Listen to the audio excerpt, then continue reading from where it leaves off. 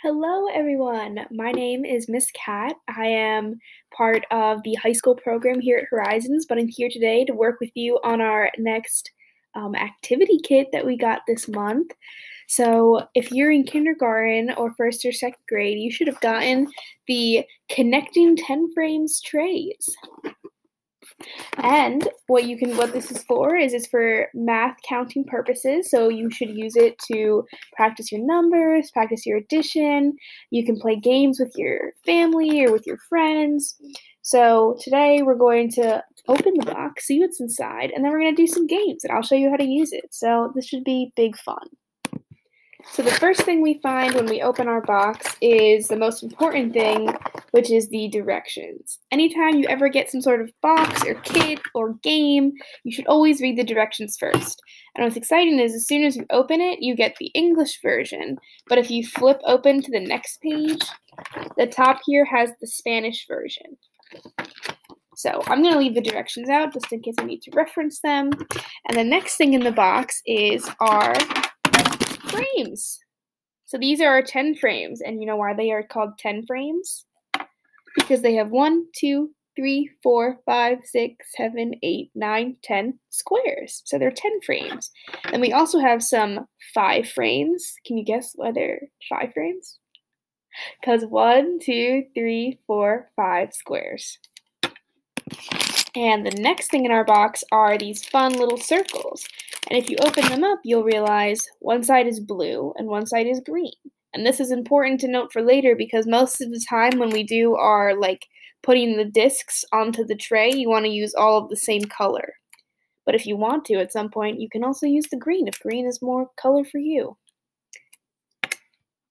So the first thing we're going to do is we're going to talk about how we're going to use our 5 and our 10 frames. So the first thing I want to talk about is you will always go from left to right side. So when you're inserting your discs, make sure you're always going from right to left, okay? So right now we've added one, two, this is three, four, and five. So our entire five frame is filled, and we went from left to right, and I may have lost a disc. And on our 10 frame, we're going to do the same thing. So we're going to go from left to right, and we're going to fill the entire top one first, before we fill the bottom one. So I have a little test. This is the first test of the day. How many discs are in the square or in the 10 frame right now? If you guessed 5, you would be correct. And then we're going to add our 6, 7, 8, 9, and 10. So we went from left to right, top to bottom. So when we're building numbers on the frame, we're going to use the same ones. So if we wanted to do 2, for example, we're going to put two discs into the frame in the same color. But let's say I asked you a question that was 2 plus 3. Then you would use a new color to show 3. And when you looked at this, you would see 2 and then you would see 3. And when I said, what is 2 plus 3, what would the answer be? The answer would be 5. So make sure when you're using, when you're doing addition or subtraction and you're using two different numbers, make sure then you use different colored discs. So the first game we're going to play is about recognizing numbers. So I'm going to hold up a 5 frame and there's going to be a number of discs in each square and you're going to look at it for a minute. I'm going to put a piece of paper over it so you can't see. And then I'm going to ask you what number you saw because there's there maybe there'll be 3 discs, but you know, in here. And then I'm going to go, "Whoo! How many discs? What was the number?" And then you'll tell me that the answer was 3. So that's the first game we're going to play. Are you excited? I'm, I'm pretty excited. Okay, so going from left to right, I'm going to add some discs.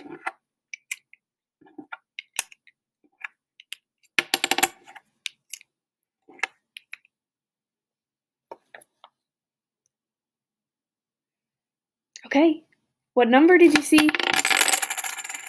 If you guessed 4, you would be correct. And you would be correct because there are one, two, three, four discs in the five tray. If you thought that was easy, then that's totally great because what we're going to do now is make it even harder. So now we're going to use the 10 frame. So I'm going to hold up a, uh, a tray and you have to tell me in three seconds how many, what number you see. One, two, three. Okay, what number did you see? If you guessed five, you would be correct because there are one, two, three, four, five discs in the tray. Now we're going to play again. Okay, I hope you're counting.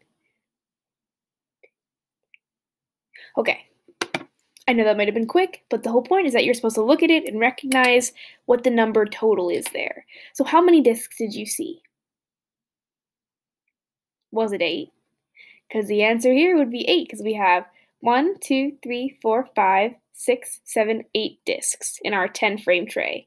And then if we added, for example, we added two more to this tray, what number would we have now? If we did 8 plus 2, would the answer be 10?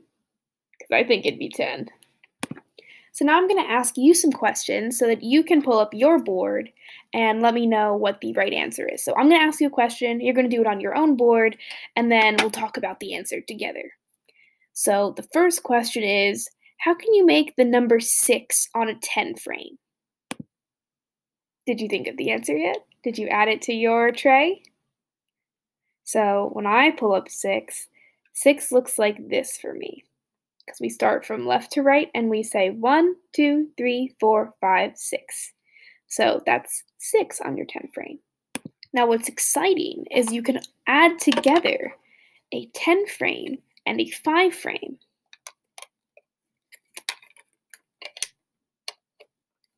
And then, how many squares do we have now? One, two, three, 4, 5, 6, 7, 8, 9, 10, 11, 12, 13, 14, 15 squares now. So now we're going to play the same game again, and I'm going to say, I'm going to ask you a question. You're going to put it into your own frame. Make sure you connect them so they don't fall apart.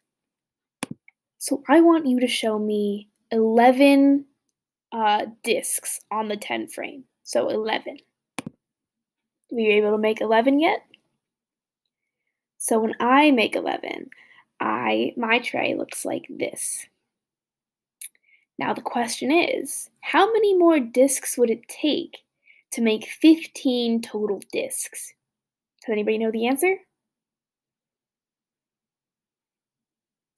So the answer would be 4, because if you added 1, 2,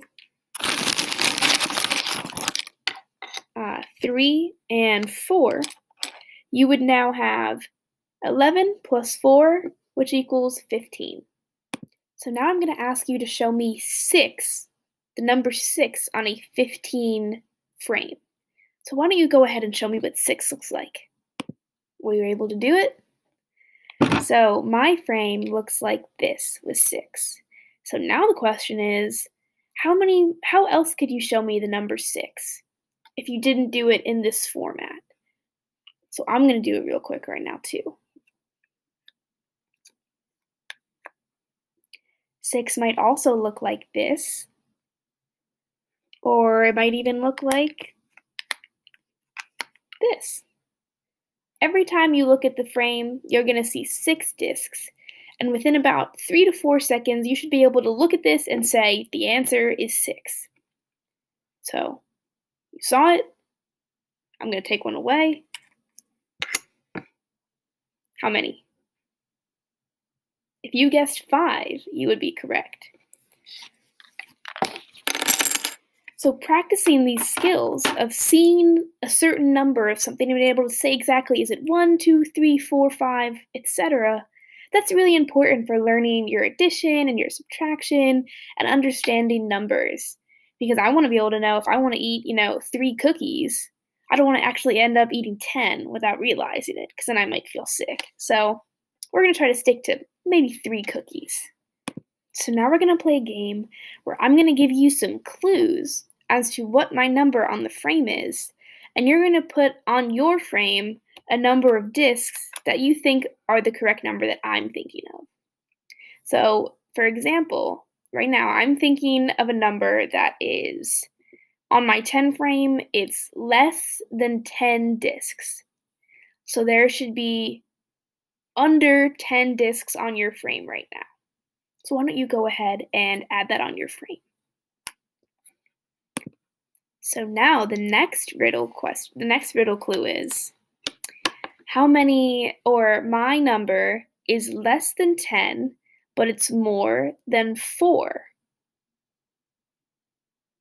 So, how many discs do you have on your on your board now?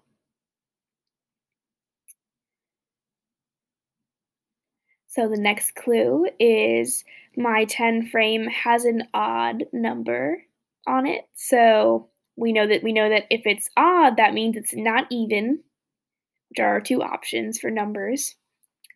So my frame is less than 10 discs, more than 4, and is an odd number. So your frame should look a little different now.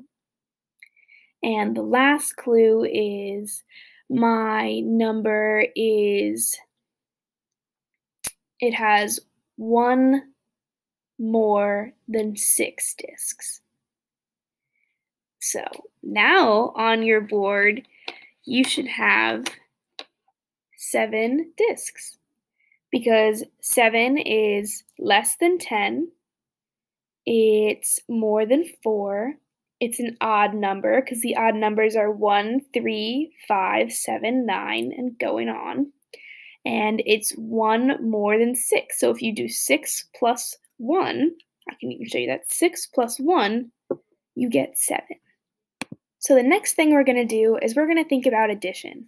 So on my 110 frame right now, I have six discs. Now let's say I asked you to do six plus four. Does anybody know what the answer to that is?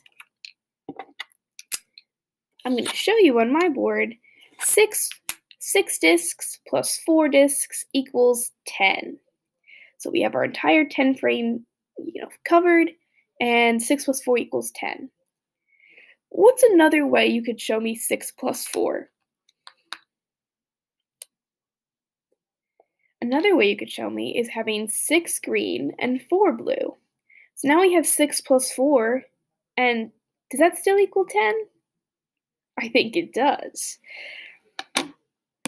So what's another way to add to 10? We know that 6 plus 4 equals 10, whether it's 6 plus 4 or 4 plus 6. What about if we had, what's another way to do to equal 10? Would you, would you think it might be 5 plus 5? Because we have 1, 2, 3, 4, 5 green, and 1, 2, 3, 4, 5 blue. And if you add them together, you have 1, 2, 3, 4, 5, 6, 7, 8, 9, and 10. So we filled up our entire 10 frame right now using 5 plus 5. But like we did before, 6 plus 4 also equals 10. What's another way you can think about creating 10 on your board? Another way might be 3 plus 7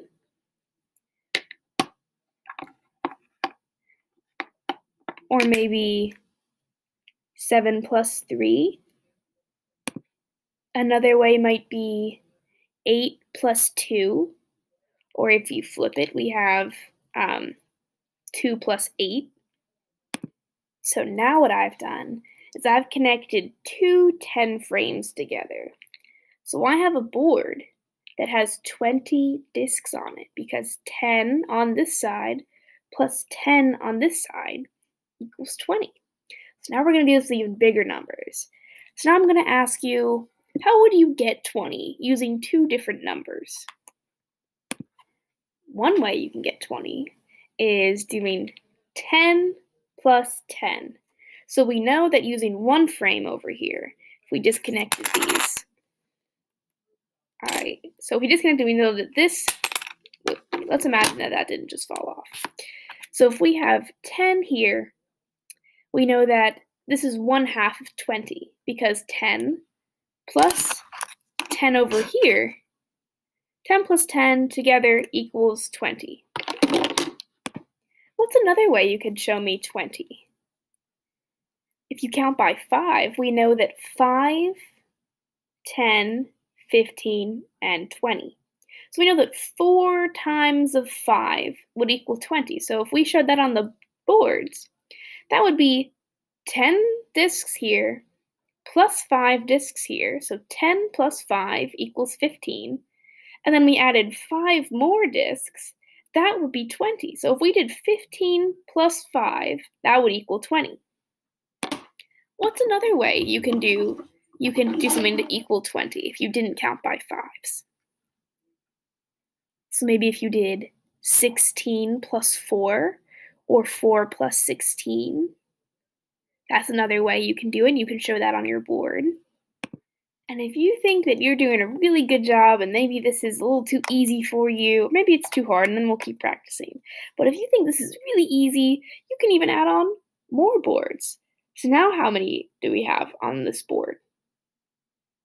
You want to count with me? So we have 10 here. We do 5 plus 5 is 10. And then we do 5 again, plus 10 would be 15, and then 20. And then we have 25 and 30. So now you have a board that has 30 squares. And then you can do things like, you know, 20 plus 10, or, you know, 13 plus 14, or 13 plus 6. There's a lot of different options you can do to practice your addition. And then if you were getting really crazy, and you wanted to do some subtraction, you could go back to your original 10 frame and we could do 6 minus 3. And who can tell me what 6 minus, oh, 6 minus 3 equals? 6 minus 3 is still 3 because 3 plus 3 equals 6. So we know that with, with um, addition and subtraction, you can add numbers together to get a sum, or you can take a certain number away from a bigger number to get um, the, the uh, answer to that. So if we did 10 minus 5, we would get 5. Or if we did 10 minus 2, we might get 8. So there's a lot of different options for how you can practice with your discs and your addition and subtraction. So, if you want to learn more math games, I would recommend going through the instruction packet and looking at all of the games here and the games here. And you can pretend that the discs are baseballs or cookies or maybe your favorite uh, animal. Maybe these are little turtles. It's really whatever you want to make it more fun and whatever you think will help you practice your addition even better. So, thank you so much for playing some math games with me. I hope you learned some more about addition. I learned about all these cool ways these frames and these discs and help can help us learn. So, thank you, and I hope you have a wonderful rest of your day.